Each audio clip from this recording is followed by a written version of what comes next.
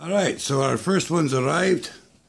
And of course, it has to be Blane's that comes first. Obviously. So, bring this up.